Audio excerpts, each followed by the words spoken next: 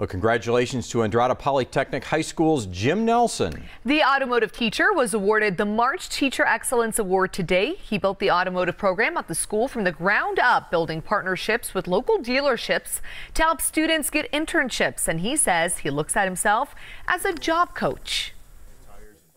A lot of them um, are not college bound and be able to help them understand that they can be successful without having to go to college and they can go directly into industry.